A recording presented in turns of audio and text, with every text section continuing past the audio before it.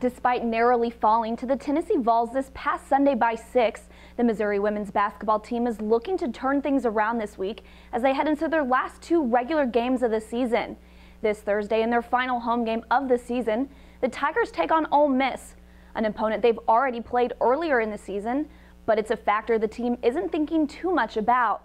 I don't think you can really think about that too much because that was earlier in the season, the two brand new games that we really need. Um, but all season long, you know, we've been hit with adversity, and I think that's something that I really compliment our team and our coaching staff with is being knocked down, but then getting right back up and moving forward.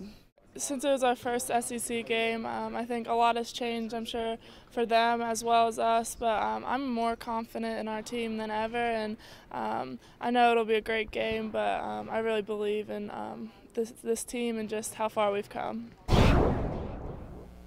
Tip-off on Thursday will be at 7, and their last game will be Sunday at Arkansas against the Razorbacks at 2. From the Mizzou Network studio, I'm Lauren Holman.